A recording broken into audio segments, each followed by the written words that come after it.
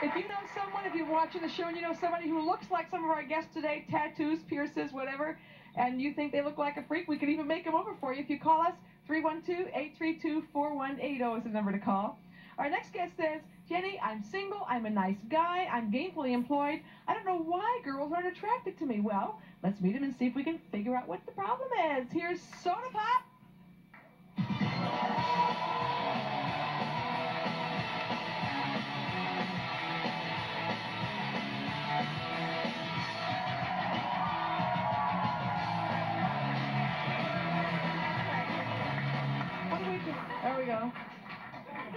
You lost one of your. How many rings are you wearing? A lot. A lot. Okay. So, having a problem with the girls? Well, females are intimidate, intimidated by me at first. But then when I get them, I can't get rid of them. You have you have tattoos over how much of your body's tattooed? Well, my arms are completely tattooed. Yeah. Y'all covered up some of this. Well, we it My was pretty back. racy stuff. We had to cover Yeah, up my some of back is almost completely covered. I Yeah. got one more sitting to. And do. then, then you're going to be all done. yeah, then I'll be uh, taking pictures for three major tattoo magazines. You will. Do you have a job? Yeah, I own a barber shop. And I You're- cut hair in a barber shop I own. Can you see, can we see the top of your head? There. We have chosen three women who say they want to date someone with a radical appearance, and we definitely have that with Sodda Pop. Here are Janelle, Jennifer, and Alicia. Come on out, ladies.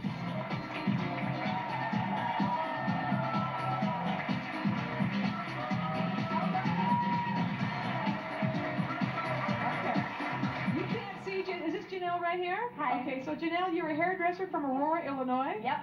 And what kind of, you don't like sort of ordinary looking guys? No, they're boring. They're boring. Mhm. What kind of guy would you like to, to meet today? Anybody who's not not ordinary. Not ordinary. Okay. We definitely have that behind the wall. Uh, Jennifer, sales rep from Mundelein, Illinois. Yep. Uh, You look like a uh, like, like a sales rep. I Why, guess why, you why do you that. want a freaky looking guy?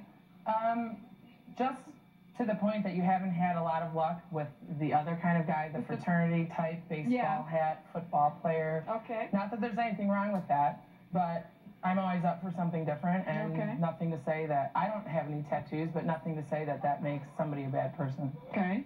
Alicia, Alicia, homemaker, Chicago, Illinois. Mm-hmm. And uh, do you do you have anything that you look for in a guy or any kind of uh, favorite my main feature? thing is honesty. That's Honesty? what I look for, yeah. Okay.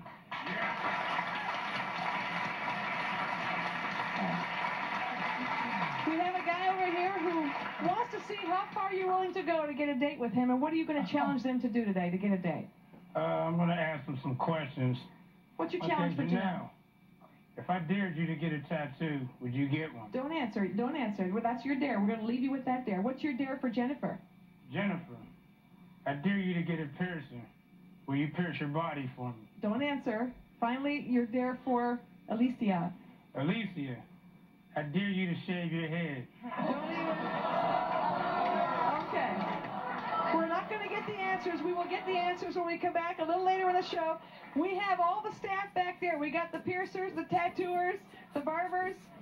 We'll see what their decision was in just a moment. We have had a high pressured power washer back there working on some of our guests. We'll see the transformations back to regular looking people when we come back, and we'll answer the burning question how far would a girl go for a date with a guy named Sodda Pop? We'll be back.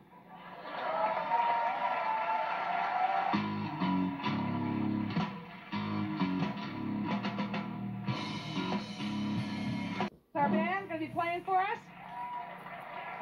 It's time.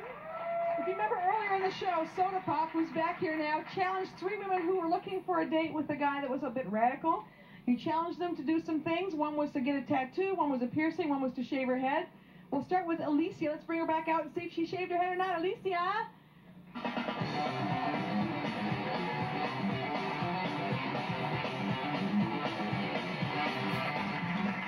You never saw each other. There he is. What do you think, Alicia? Oh my.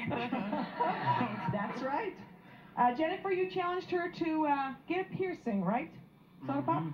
Okay. Let's see if she got anything pierced. Jennifer, come on out.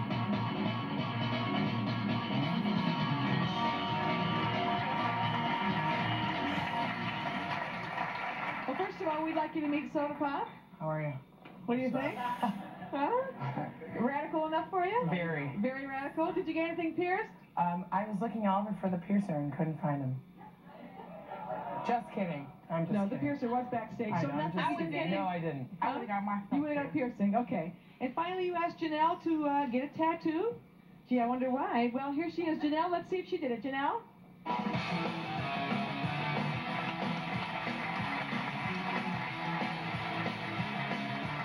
Okay.